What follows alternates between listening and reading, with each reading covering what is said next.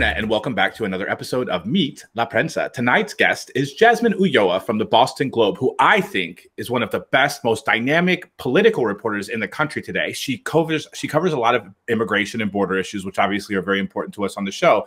But she also had an incredible story this week where she went out to Kevin McCarthy's district in Bakersfield, California, to write about that. So we'll start tonight by asking her a little bit about her border reporting, and then we'll go into her Bakersfield reporting before asking her the questions that we always ask first time guests why journalism, and who are the most underrated workers in American newsroom. Viewer, if you find this helpful, make sure you like and subscribe. You can find Jazmine's Twitter handle in the description. Welcome, Jazmine, to Meet La Prensa. Thank you. Thank you for having me and for that nice introduction. Thank you so much. No, of course. So, your latest reporting in the Boston Globe shows that Kamala Harris now has been has the monumental task, right, of digging in to the Latin American dynamic, the Latin American sort of geopolitical dynamic, and coming up with solutions for the new White House. Now, President Barack Obama, two presidencies ago, assigned his vice president, then Vice President Joe Biden, to handle the Latin American portfolio as well. What is going to happen differently this time? What are some of the lessons maybe that Joe Biden has learned by handling the, the, the what are some of the lessons that Joe Biden might have learned by handling the Latin American portfolio for the White House two presidencies ago that now Kamala Harris can kind of benefit from now that she's been tasked with doing the same as his vice president. Yeah, so she's um it, it's good that you said that that that that he, you know, she's taking on this role that he previously had. Um and it's it's it's good because he, there's a roadmap there, right? You know, he, she's not starting from a completely um you know, fresh slate. Uh, so there are there are proven strategies there, but the the the landscape looks completely different. It is just a much more. Uh, it was already a mammoth task fraught with geopolitical uh, complexity, and it's even harder now because of, of uh, conditions have just deteriorated. I was talking to um, foreign policy experts and Latin American experts, you know, all this week and last week about. Um, just uh, how how how much how much more difficult this task is going to be. Uh, corruption is is is just a, a, much um, a harder problem for her to take on. You know, Biden had some un- anointed partners. It wasn't it wasn't completely easy uh, working with with government officials in uh, El Salvador, Guatemala, in um, uh, in El Salvador, Guatemala, and Honduras but n- now those relationships are, are just no longer there. And there's you know there's there's questions about who she will be able to work with. I think what i heard a lot from from people who have been following the issue for a really long time um, and and are very eager to work with kamala harris on this uh, they say, you know, you have to really look at civil society. Who are the activists? Who are the independent actors? The the, the independent freelancers? Who are the prosecutors? Who are the judges? Um, who are trying to to make a more inclusive, more just society? Those are going to be your partners moving forward, and you have to take. Um, she's going to have to take a much um, a much closer partnership uh, with with this with this section than than Biden did. So what are your sources telling you are the biggest challenges and opportunities in the region for the vice president's office to take on? Uh, I mean, the, the at the at the core of it is the deter deterioration of the rule of law, and so she, um, you know, and that's why she doesn't have the foreign policy credentials that Biden did, but she does have, you know, she was a former prosecutor. She was California's top prosecutor, and so so people believe she she knows what's at the core of this issue uh, in a way that no one else does. So if, if she leans on those instincts, I think she'll, uh, from what I heard from sources, is that you know she's she's going to be able to handle to, to be able to handle this and any progress, any incremental progress that she can make on on such a complex problem could could be seen as a as a as a as um as a boon to her to her portfolio. Jazmine, what would you say to somebody who says, "Isn't this just the president layering a problem away from himself?" Uh, you know, it, Biden has taken a look at the region. He's, he sees that this border story is something that's really come to define the first year of his presidency. And now he's saying, I need to create some layers between me and it because I'm not going to be able to deliver. Is that something that's a legitimate criticism or is it something that, you know, like, or is this more sort of the normal course of affairs in the president's portfolio? Because obviously we're talking about him taking the Latin America portfolio and putting it on his subordinate, right? We're not mm-hmm. talking about him taking the European portfolio or the Australian portfolio or the Russian portfolio and putting it on his subordinate. Is Latin America being cast by the wayside? Well, I mean, Obama did the same thing to to him, so he's kind of he has a pattern to follow. Um, and I I just lost my train of thought. No, no. um, what was I going to say about that? Um, is Latin America being cast by the wayside in this maneuver by the president? Because in the org chart now, you know, obviously well, we have State Department, we have all these different places, all these different agencies that work in Latin America. But now Biden's saying y'all got to report to, to to Vice President Harris. You know, like I don't want to hear about it, except for from her. well, I mean, she's she's not the the first the first vice president to be handed such a such a thorny task. You know, Trump also handed the whole coronavirus pandemic response to Mike to Mike Pence. Um, so I, I don't. Fair.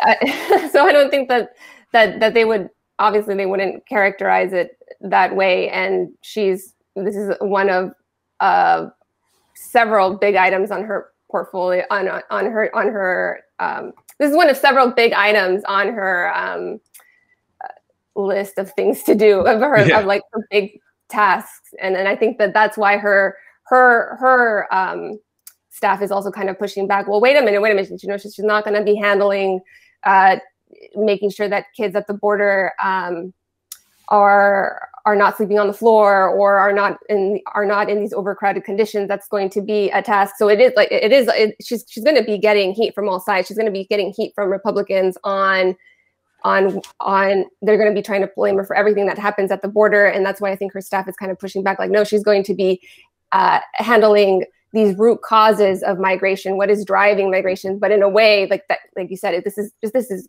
an even harder task. But if she's able like i said if she's able to do even um, a minimal like an incremental incremental progress and, and be able to show that it, it, it, it could benefit her politically. So a lot of people have been sounding the alarm about the border in particular the department of homeland security and obviously now the vice president's office via with the president's authority is sounding the alarm about Latin America. These are all agencies. These are all entities within the federal government that are going to be going for budget before Congress soon. How seriously should we take the data coming out of the government and some of these uh, sort of these these cries, these call to actions, if you will, from the government when at the end of the day they do seem kind of conflicted? Like, who are there any independent agencies that you can rely on as a journalist to say, listen, we need to make sure that these numbers are right and we're not just elevating the government's claim that there's a crisis. Yeah, I mean the Government Office of Accountability, the Inspector Office, the the Inspector General's uh, reports on that, um, and then also you know there there are some just just uh, cross cross checking, cross referencing with what activists and uh, immigrant immigrant rights groups who have been working on this for a long time. I, I think it's always important to kind of look at the various various sources. When are you seeing?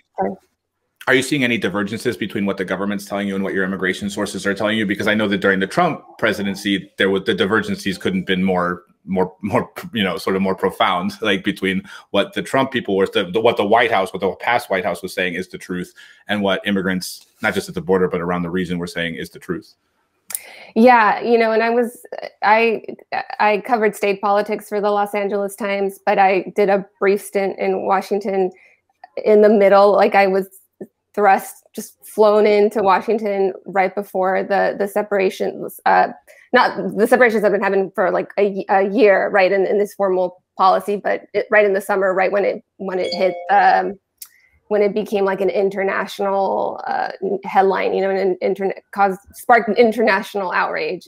So, um, and I remember trying to track down the numbers then and just how difficult it was to get any sense, like any any number was difficult. Like uh, they would send you to one agency and that person would send you to another agency, and it, it was just like it was like pulling teeth. It's not. I don't think it's that way anymore so far. Um, it, it, seems more streamlined now than it's, it's it was. yes, and at least and at least people are trying to give you information. Right.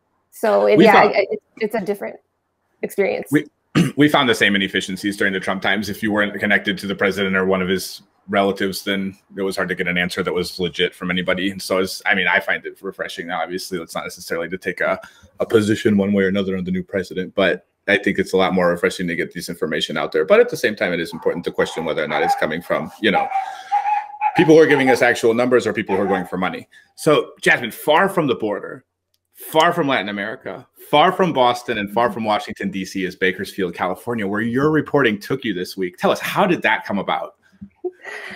So I, like I said, I covered state politics in in in California, and I covered the the midterm. So I I was pretty familiar with with Kevin McCarthy before I came to Boston, and I just thought that he was in a very interesting position in in Congress, trying to, uh, you know, well, we, as I, we we've been looking into this question about the radicalization of the Republican Party, the, the battle for the, the soul of the party, and where uh, so we, we, so we've been doing a series of stories just looking at that question and looking at the history and how we got here, um, and we're looking and, and as part of that we're looking at who are the major players, and so that's how that story came about. We were just um, you know I, I thought that he was in an interesting position.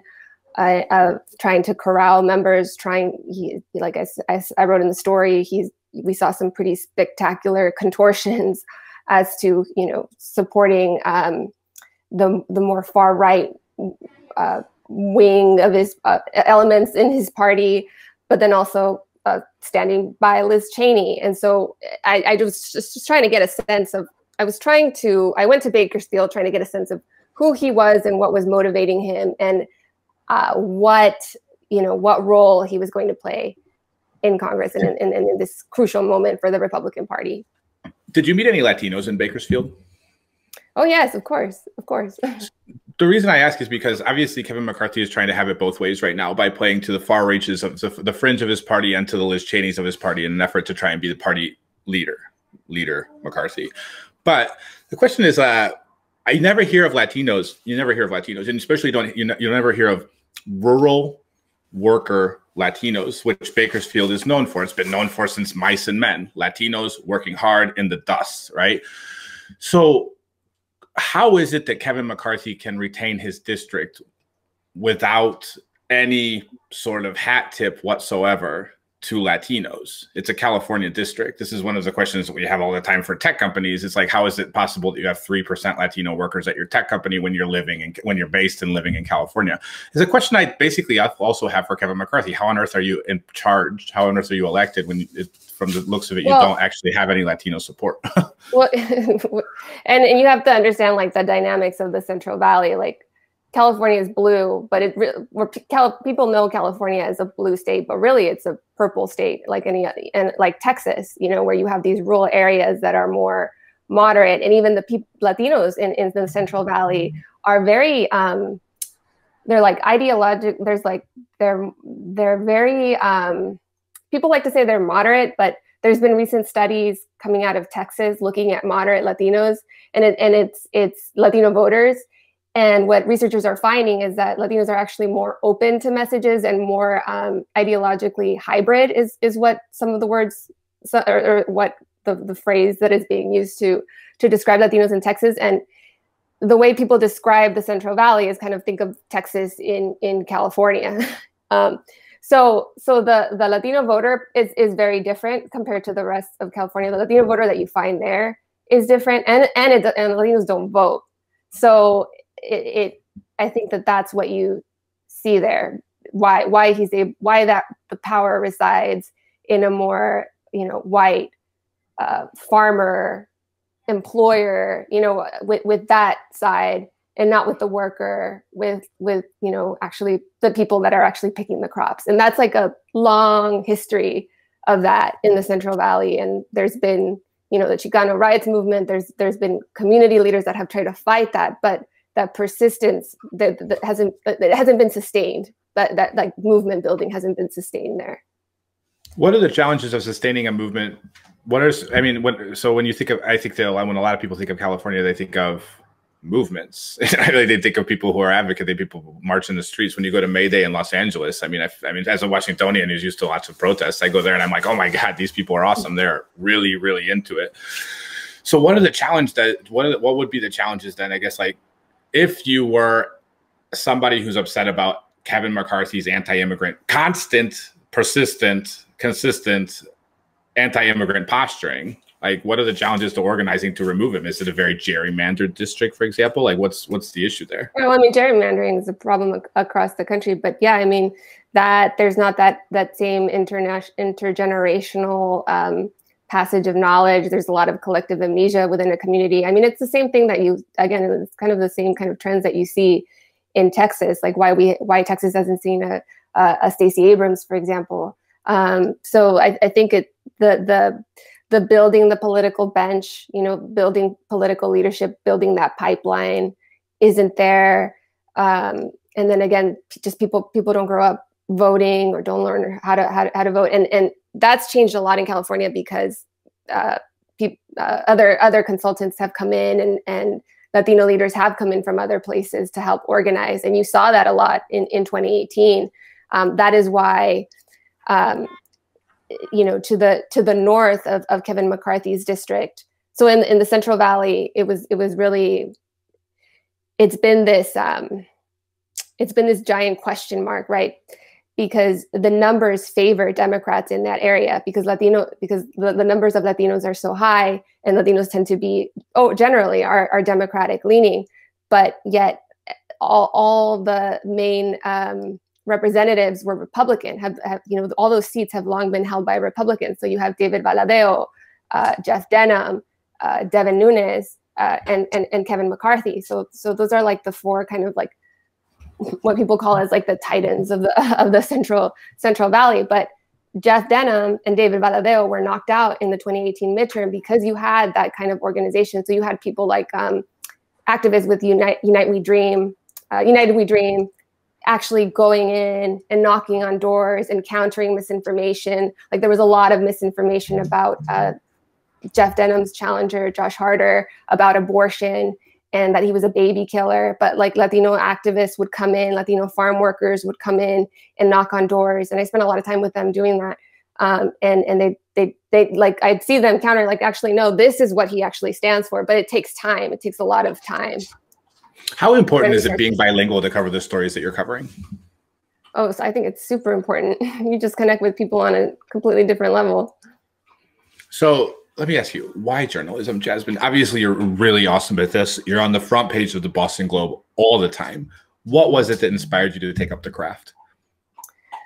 I mean, so like the how I like thought, oh, you know, I could be a journalist. Like honestly, and this is embarrassing, is like looking at uh, I was watching telenovela, like watching a telenovela with my grandmother, and you know the the intrigues of telenovelas are always like the good guys, you know, like the the bad girl and the good girl and fighting over the guy. But it, there was one where she was a new, there was a, a newsroom scene. I, I can't, I think I think she was like a news newspaper reporter. The, the, several of the characters were like newspaper reporters, and I was just like always way more intrigued by the newspaper scene, the scenes, and and like just like that that collective move, like that movement to action and breaking the news and breaking the story. So I think that that's where I got the idea. But what like has kept me in it, why I'm still here amid the layoffs and the buyouts, has been because when I was 15. I was a reporter for the high school newspaper and I started reporting on the uh, the murders of women of, of, the murders of women across from my hometown in Ciudad Juarez. You know, the, the femicides. So more than 300 mis- women had had gone missing at, at the time, and the numbers, you know, some estimates were even higher that they they totaled that up to like, you know, 500. Some some some nonprofits total the, the, the tallies up to 500. So, you know, I think when when I met with the mothers of some of those women um, you know, one of them was Eva Arce. She took me outside and she actually pointed to house after house after house where someone had lost a mother or a daughter or a sister. Um, I, I, I think there's just no coming back from that. Like you realize, like you have to do it. You like, it, like this is, it, it just, um, it just like changes your life. You know, it like it, it makes you realize like, um, these this could have been me. You know, these were these were women who were looked like me, were uh, just born on the other side of the border, and I don't think I've ever wanted to do anything else. So we're 15, and you were suddenly covering atrocity. What's that like? Like how and where were you covering it for? How does how how does what? That, that's an amazing story. We ask this question to everybody who comes on the first time. Like, what got you into journalism? I think yours is definitely the best so far. So I kind of want. I was curious. Like, so who who who are you covering it for? My high school newspaper. Oh I, wow. Yeah, yeah. I um. So I just uh, I did like a, a three part series and and on you know, one was just like the overall look at the femicides and the different theories, and the second one was look, uh, speaking to a lawyer who um, had actually heard his son die on the phone. Uh, they were both lawyers, and they were defending uh, bus drivers because uh, they believed they had evident they had reason to believe that they were being used as scapegoats by the government to be blamed uh, for um, the killings of some of the women and you know he he he was he was targeted for that. And then the the the last story was actually speaking to the mothers of, of some of these women. And so that's i think that's who i do it for for eva arce for silvia garcia you know for for for the for women who we still don't know much about you know what what became of them. What would you tell other journalists looking to cover something really difficult like that about how to keep yourself together? You know like how like how, how do you unwind? Like what what is the do you have any any guidance for because that's that's really intense. Um to unwind like i you know i'm still kind of dealing with it you know? Like right. i yeah I, I just i don't know i'm i'm from i'm from el paso so it's like a place where i don't know I've, the violence doesn't really leave you so. Wow. That's powerful. So last question, and we ask this of every first time guest. We ask it usually of every second time guest too. Who are the most underrated workers right now in the American newsroom? I um I don't I don't wouldn't say that they're like underrated because I think they're but I don't I wouldn't say they're underrated, but I definitely admire all the reporters at the all the Latina immigration reporters at the LA Times. So Andrea Castillo, Brittany Mejia, uh, Cindy Carcamo, um, Paloma Esquivel, and she's she's more of an investigative reporter. But basically, all the Latinas at the LA Times. Esmeralda would do this. Heck yeah. I love that. I love that. We love the LA Times. Actually, um, I became a subscriber to the LA Times um, when the Washington Post would not publish Latino opinions. I was like, okay, well, I'll cancel my Washington Post subscription and I will subscribe to a publication that does actually publish Latinos, mm. which is the LA Times. I think they're doing great work too. And Jazmine, thank you so much for coming on tonight on Meet La Prensa. Is there anything else you want to tell our audience before we go? No, no, thank you so much. Pleasure is all ours. So, viewer, please make sure you like and subscribe to this video if you like what you're seeing here. And you can find Jazmine's Twitter handle right here in the description. Thanks for joining Meet La Prensa. That's a wrap.